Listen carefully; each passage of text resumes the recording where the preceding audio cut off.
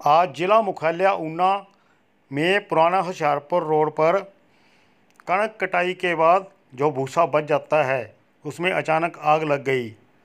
स्थिति को गंभीरता से देखते हुए इलाका निवासियों ने अग्निशमन विभाग को फ़ोन किया। कड़ी मशक्क़त के बाद अग्निशमन विभाग ने आग पर काबू पाया। किसी भी तरह का कोई जान माल का नुकसान नहीं हुआ। गनीमत रहे कि वहाँ बच्चे भी खेलते रहते हैं, लेकिन उस समय वहाँ कोई नहीं था।